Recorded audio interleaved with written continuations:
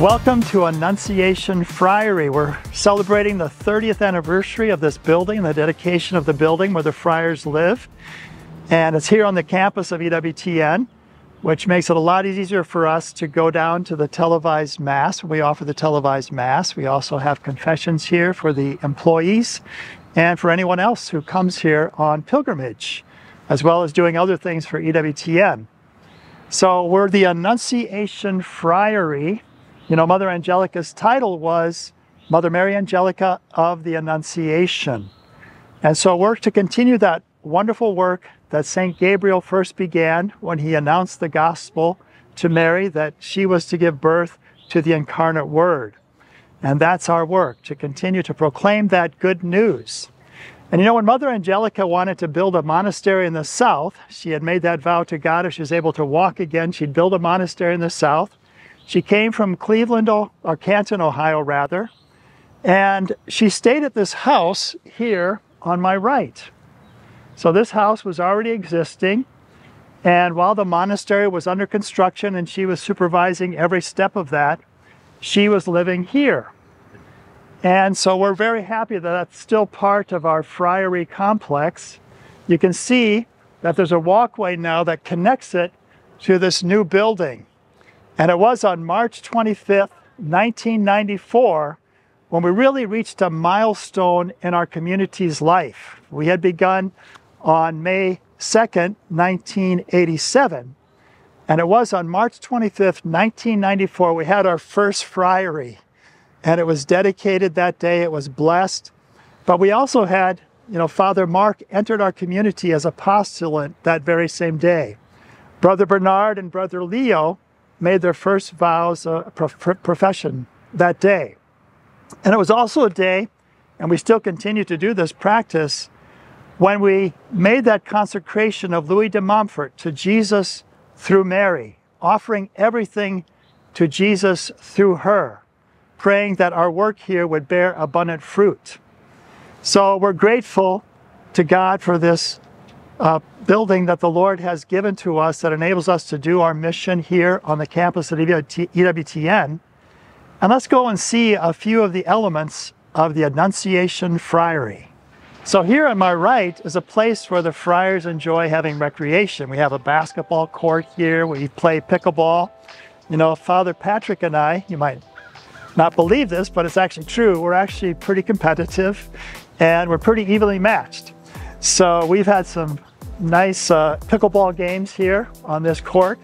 The Friars have also played volleyball. We've also invited some of the employees at times to come and play basketball. And we've had some nice games between the Friars and uh, the employees, the different departments of the employees. So let's take a look at the basketball court, pickleball court. So when this was originally built, I had hoped to have enough space for a tennis court, but we we're like 20 feet short. But thankfully, pickleball doesn't take as much of a court and so this has worked out perfectly for us with the fence around it. Now we're going to go to the heart of the friary, which is our chapel where we have our divine office, where we pray together. We also pray the rosary here. And this is part of the original building that Mother Angelica first moved into when they were constructing the monastery. But it's a little portiuncula, and it's quite interesting how the portiuncula often has become an adoration chapel, for example, at the Franciscan University of Steubenville they have a little portiuncula. This is Our Lady of the Angels, where we have adoration. And then we have our own little chapel here in the friary, which is a small little portiuncula, if you will, as well.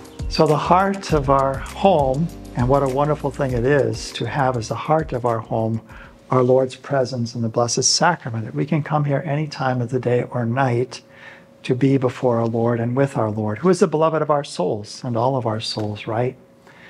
And this altar is actually something designed by our own Father Paschal as a replica of an altar at the Basilica of Assisi uh, of, uh, dedicated to St. Francis.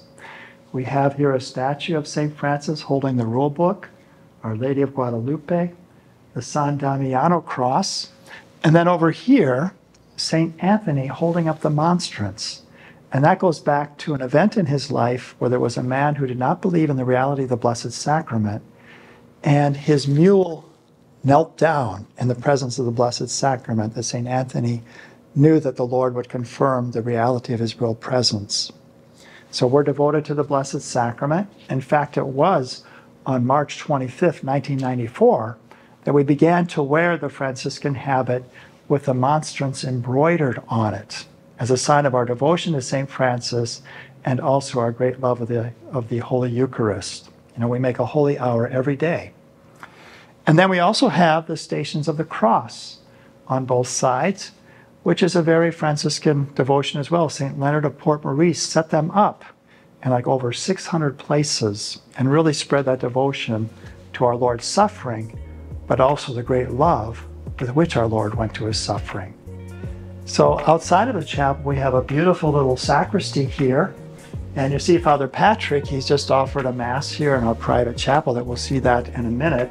He didn't have another assignment today, so this is a wonderful place where we can have a private mass, or if there's a small group of people, sometimes we'll have employees that are in other, other countries who will be coming here and they want to have mass celebrated for them. So we will sometimes have mass here for other little groups. So take a look at our little friary sacristy.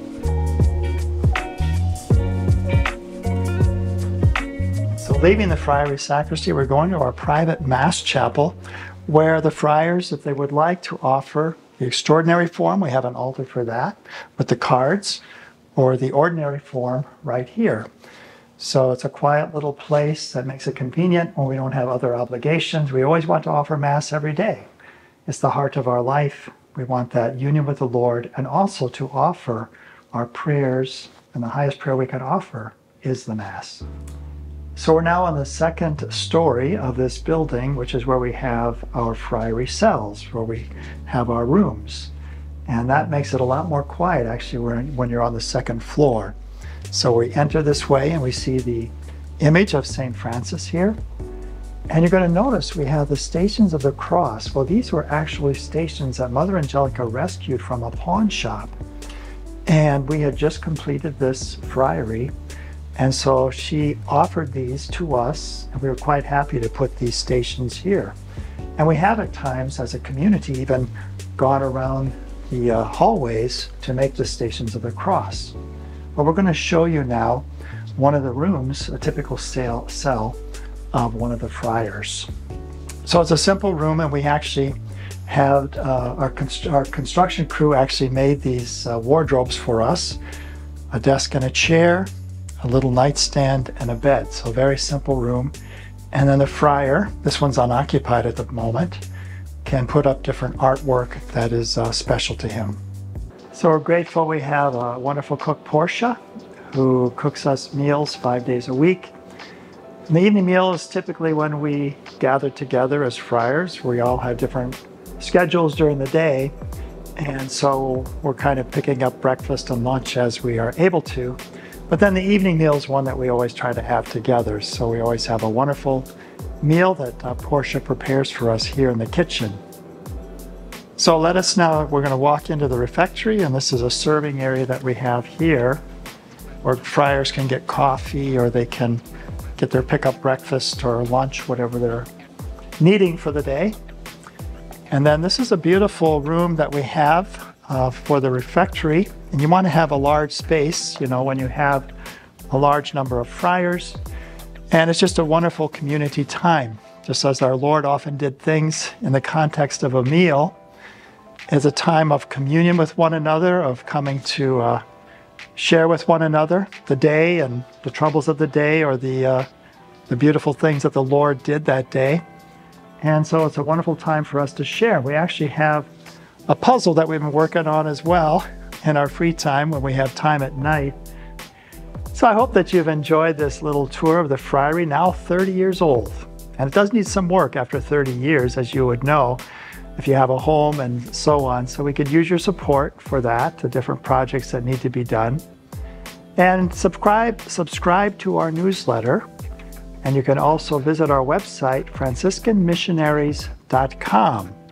So like, share, subscribe so that others too can learn about the Annunciation Friary, this wonderful a gift of God that has been given to us through His providence, through people like you that helps us to continue our mission for EWTN. And may Almighty God bless you, the Father and the Son and the Holy Spirit.